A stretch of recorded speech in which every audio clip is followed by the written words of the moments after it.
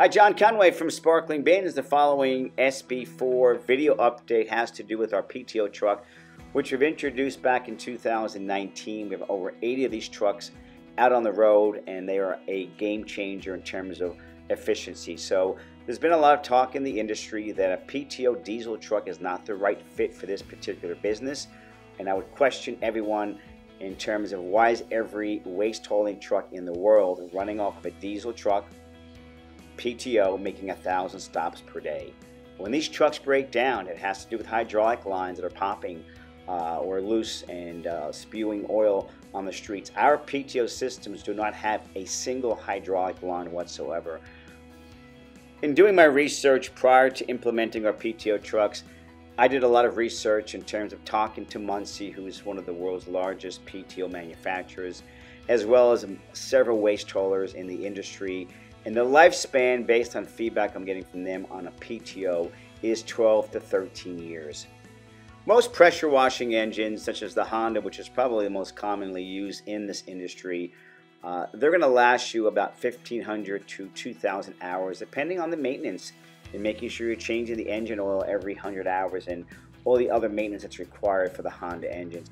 We also own one of the largest pressure washing companies in Florida, uh, we are a certified warranty shop for Honda and many other pressure washing engines. So we also have certified mechanics on site. There's also been a lot of talk about how the diesel trucks with PTOs should not be running idle. It's not good for the engine.